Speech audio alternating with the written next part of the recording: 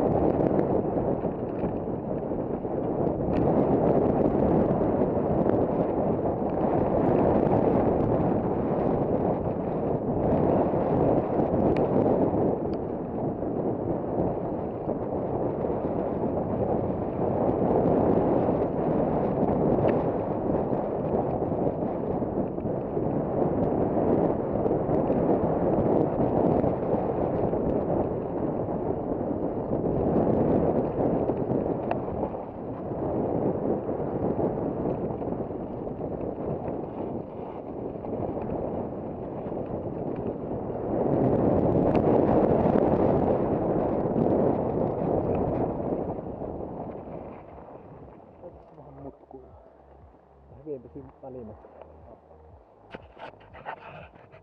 Tehty linssi tänä lunta.